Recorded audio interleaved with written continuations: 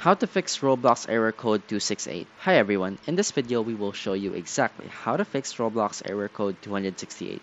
You need to restart your app or device. When you do a restart, the app or device has a chance to start over fresh. If something happens, such as a glitch or a file being corrupted, restarting can help you get past that.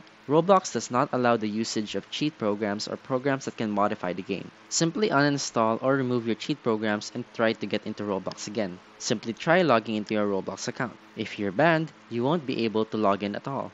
If you are banned, you can try to appeal the ban by contacting Roblox support and opening a ticket. Ensure that your internet isn't having issues. If your internet isn't working properly, Roblox may give you error code 268. If your internet connection isn't stable, try another connection if you're able. Otherwise, try connecting an Ethernet cable if you're using Wi-Fi. Check to see if Roblox is having server issues. Go to Roblox's server status page and check to see if there are any issues. If you're playing on Windows, try a different Roblox client.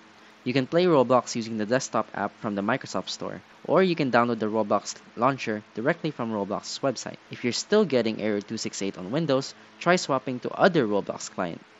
If you're interested in trying the Roblox app, click the first link in the description. Thanks for watching. Don't forget to like, subscribe, and share.